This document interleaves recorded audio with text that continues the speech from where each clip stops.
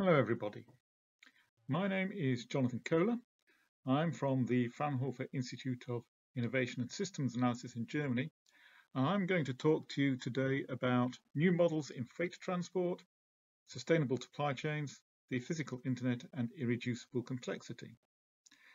Before I get, proceed, I would just like to thank uh, Laurie Tavassi for inviting me to participate in the workshop and I acknowledge funding from the European Union through the STORM project of which this is part. The STORM project, Smart Freight Transport and Logistics Research Methodologies, is a review of freight transport modelling. It's supposed to screen existing trends and challenges in freight transport, and then go on to elaborate new analysis frameworks and models to address structural change in logistics and freight transport. It's also going to provide recommendations for research and development on new data, methods and tools. You can see the project consortium there. It's quite a small consortium for what is a medium-sized project lasting two and a half years. And we're in the early phases.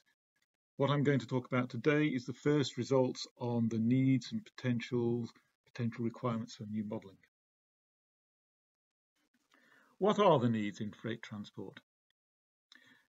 We have conducted a literature review and a first set of interviews and a survey which is still being analysed, but there are actually no big surprises. There are two main aspects, digitalisation and decarbonisation.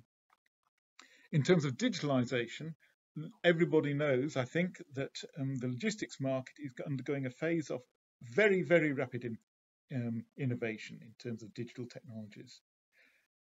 Digital internet-based business models are being introduced, um, not least the idea of the use of blockchain-based market structures, which can very much reduce the cost of participating and organizing markets.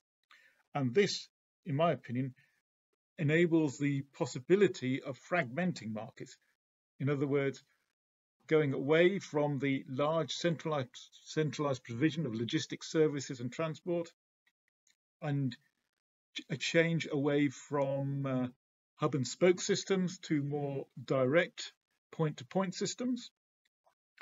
It also um, gives you the possibility potentially of actually having less fixed supply chains.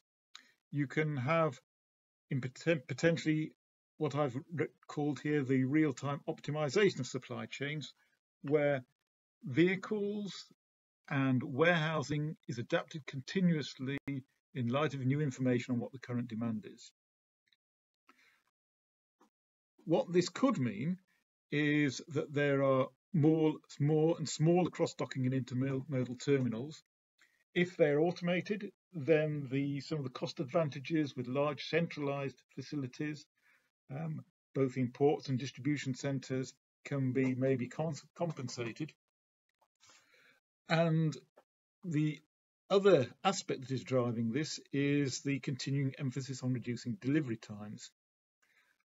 The one possible end, let me put it that way, is that one uses predictive demand managers to make warehouses actually redundant. The idea there of having production according to a prediction of demand. You put the goods that you have produced into your transport system without knowing actually who is going to order it and exactly when, but you're predicting. And then as time progresses and the goods approaches a, region where you think the demand is, you can then fine tune and cross dock to change the combination of goods in your vehicle to optimize its routing and take account of any last last minute um, corrections to your predictions. The other big area, of course, is decarbonisation. This is going to bring new drivetrains and fuels with a set of issues around them. If you've got a new fuel, then you need a new fuel infrastructure. And there, there are various possibilities um, for road freight transport. There is a fundamental lack of clarity about what the new fuels might be, in my opinion. there is a question of might you go to hydrogen-based fuel cells as opposed to batteries, as opposed to catenary, overhead, overhead electrification. Um, the issues there are around what is your energy density of storage, what are your costs of your different infrastructure and vehicle technologies. Are you going to then have a world of synthetic fuels, synthetic hydrogen or whatever? Are you going to have a world where biofuels are being used as well? And the reason I mentioned biofuels, although it's not fashionable at the moment, is there is for me a big question of where is all the low carbon energy going to come from? And who says road freight will get it? In terms of biofuels and synthetic fuels, the aviation industry has far fewer technological alternatives in their to their current technologies, especially in propulsion systems and fuels. So they will very probably go down a route of biofuels and synthetic fuels, synthetic kerosene, and that is what you can see in the aviation industry at the moment. But that then leads to the question, okay, what's going to be left for road freight? And all the other industries who might want to start using hydrogen. So there needs to be an analysis of, at a global level, over the different sectors of what are the potential renewables and biofuel supply and demand? How might they be matched up? What sort of investi um, investment patterns are going to be required? Another issue around sustainability is what you might call an, a real elephant in the room, um, the issue of demand management, an almost taboo subject in logistics, in freight transport, in terms of, well, we might face a future where demand might be controlled in some way and controlled in the direction of lower growth. Current assumptions are always that um, global freight transport grows faster than, economic, than general economic growth but that might have to change. And certainly current modelling doesn't consider that usually in their scenarios. So that is another aspect that needs to change. One aspect that I want to talk about in particular, and I thank Phil Greening in particular for reminding me of this, is the issue of complex systems modelling and irreducible uncertainty. I come from the background in um, transitions thinking, which considers socio-technical systems, of which mobility and freight transport is one, as a co-evolutionary system of lots of different components, let me put it that way.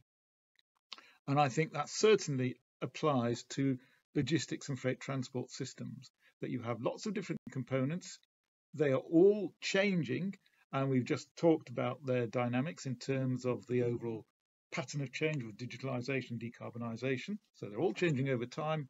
Their actors are changing over time. And what is also adding to that now is the way you represent these systems is changing because of the new issue of big data. The Internet of Things with potentially every single pallet or load having its own computerized, digitalized identification, every vehicle and all of these millions of different elements interacting together lead you to lead to the generation of massive data sets, so-called big data. So we need to develop really a new generation of models that can take advantage of all this new information.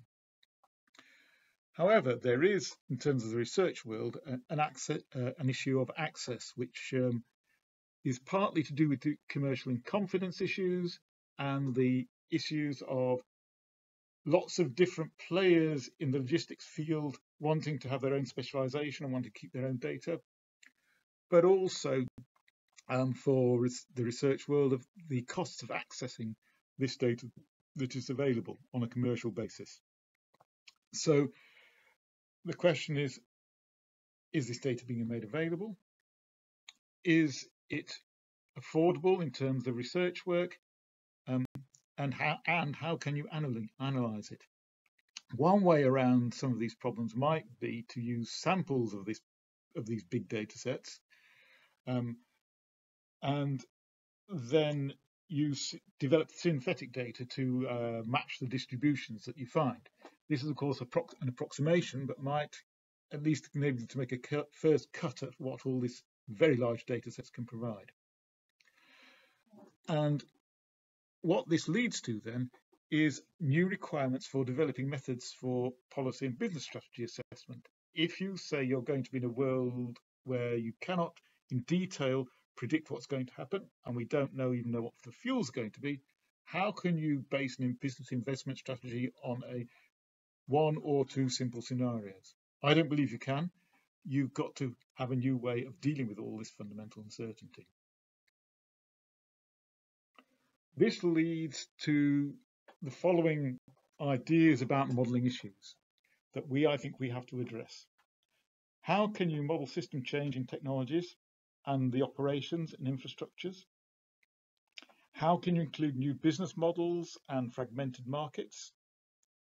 As I've just discussed, how can you model and also communicate systemic uncertainty? Um, conventional Monte Carlo analysis is probably not feasible with big data, and it's certainly not possible to communicate this sort of information to policymakers who aren't deeply involved in modelling issues and who want relatively clear and straightforward answers.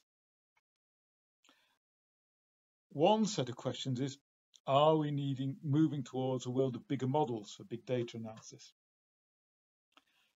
Another set of questions is, what about policy assessment, as I've um, mentioned already? How can we influence policymaking to direct system change?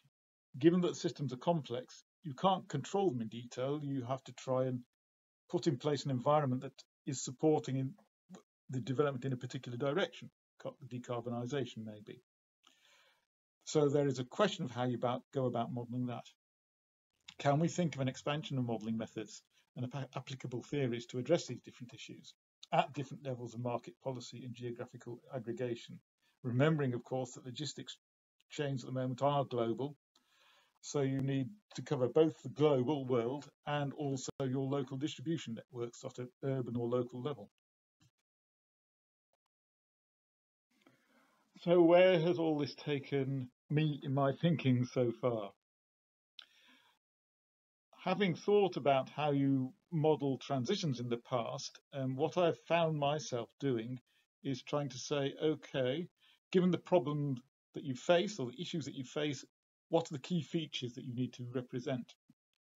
And I think that's quite easy to at least identify as problems. For me, the key features of transport models in the future have got to be they've got to model dynamic processes of system change. Marginal models, for me, are, are not relevant when you're looking at the complete digitalization of logistics and the complete decarbonisation of logistics. Both of these aspects fundamentally change your system. You need to be able to explicitly consider what these new digital center systems do, how they work, how they um, change the sustainable transport systems, and how they develop supply chains. The other issue which I haven't talked about, but is for me is also important, is what about transport system behaviours from the various actors involved, the investment decision making, the demand, how that changes over time, and how people consider the different alternatives before them. And as I've talked a little bit about, how do we address issues around big data? You can then think of going in different ways of modelling. You can think of the Hadley Centre climate change model as one as one example. So it's global, requires supercomputers, is very big and very comprehensive. That enables you to look at things in a global way, in a certain amount of detail, not complete detail, because the climate is also irreducibly complex, but it gives you a global, a genuinely global view it does, however, require supercomputers to be run for months at a time to provide a single scenario. A simpler version is the integrated assessment modeling world, but they're very aggregated and simplified. Or do you have um, a need to go to more micro level modeling and using the agent-based agent-based approaches that look at where individual niches can come, can come and develop and grow. Where are your particular applications where the new technologies have an advantage? And issues like this, which can determine the uh, how things are taken up. In terms of what models are used for, I think you can break it down into three areas really. There are models for understanding, including behavioral decision making. There are models for case specific policy advice, but also there are models to facilitate stakeholder processes. And I think these three types of activities often require different types of models. For stakeholder processes, a simple model is probably what you want that can be run quickly, whereas for understanding, you might need to go to the big ones. That's a brief run through of the first ideas that we have about this subject. I look forward to continuing our discussions on these um, subjects in the future, and I will be very happy to answer any questions you may have. Thanks very much.